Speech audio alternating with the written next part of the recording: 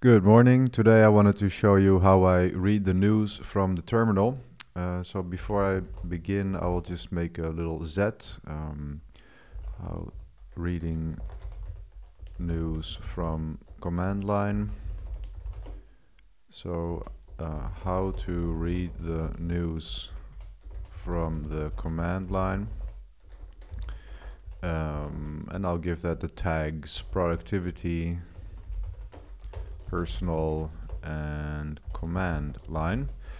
So the main thing about the let's talk a little bit about the advantage of um, reading from the command line. So it can integrate in your already existing terminal work workflow. Um, so I do as as much as I can. I do from the terminal. Uh, I ed edit all my text in Vim, and I, I'm a DevOps engineer, so I work from the terminal all day long. And then it's very good to have just this one area where you're working from, um, and that you can integrate other tasks such as reading the news uh, into that workflow. And uh, another advantage is uh, free from distractions. So if you read news on, on web pages, you will see that there's always images and advertisements, and it's very easy to get sucked into things that you didn't intend to read about at all. And um, another advantage is that it it it um, you can control how the content is rendered. Uh, how content.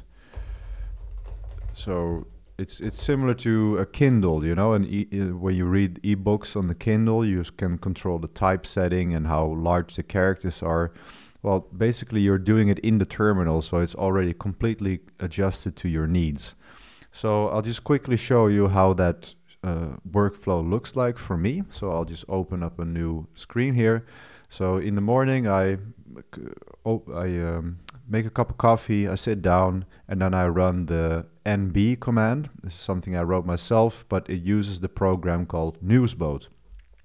So I do NB, it opens up my news feeds like this, and then I open up the first article, and these are already read, so I'll just uh, um, usually use the you, you press the N button to go to the next unread article and I'll just use the shift K just to go to the next article in the feed. So what I do is I, I focus my eyes on the title line here and then I very quickly just go through and and and see um, what what the like if, if the title interests me or not. So I'll just go this is what it looks like. I just quickly scan the title and but on that I can very quickly determine whether I want to read the article or not. So let's see.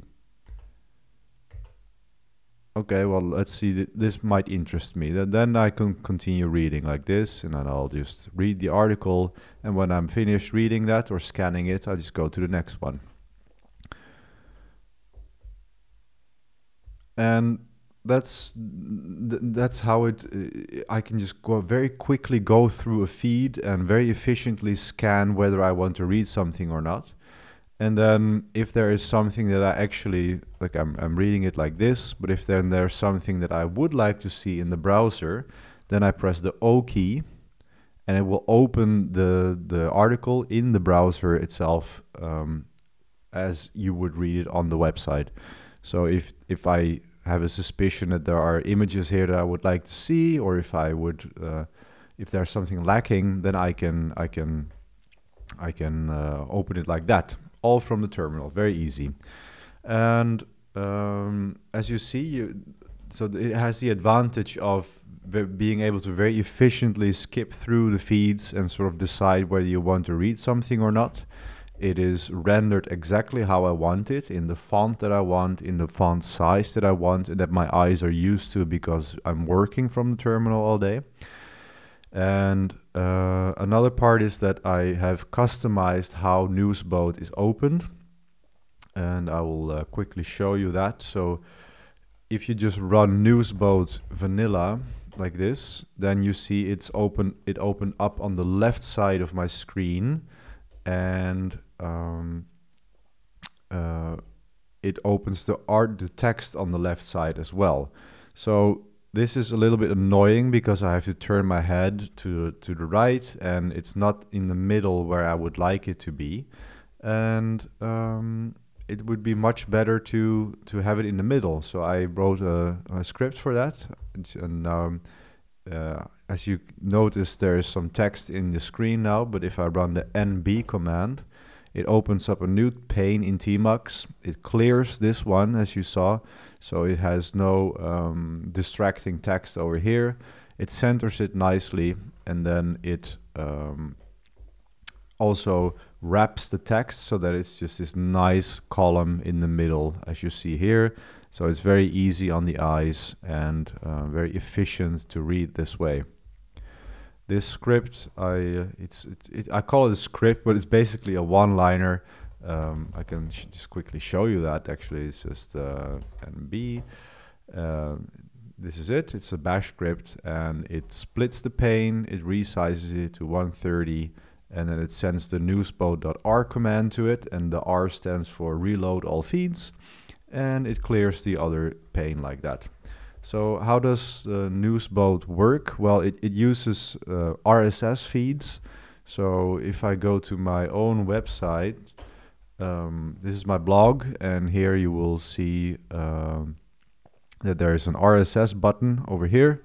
And this RSS generates an uh, this web my website generates an XML uh, file on this URL, and this is what's called an RSS feed. And Newsboat is able to take those RSS feeds and render it like uh, like we just saw.